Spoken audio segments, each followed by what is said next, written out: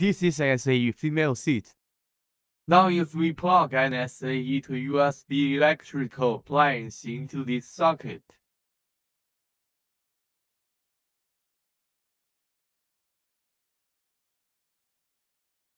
At this time, if we think it is too short or too short, we can add an extension cord to extend the middle part. This extension cord is 1 meter long when inserting the cable.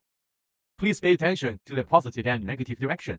Because the colors of the two ends of the SAE extension cable are different. The red on this end corresponds to the rubber seat, and the red on the other end corresponds to the metal seat. When we plug it into the female socket, it should be noted that the female socket corresponds to the red, so we need to use the red copper wire to plug into the female seat.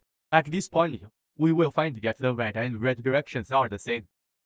At this time, we plug the other end into the USB cable. We extended the cable. This is the SAE extension cable. This extension cord is 1 meter long.